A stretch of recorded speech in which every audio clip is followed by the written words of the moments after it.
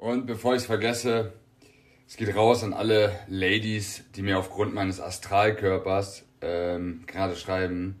Ich kann das vollkommen nachvollziehen, ähm, dass man diesen Körper haben will, aber bitte lasst es.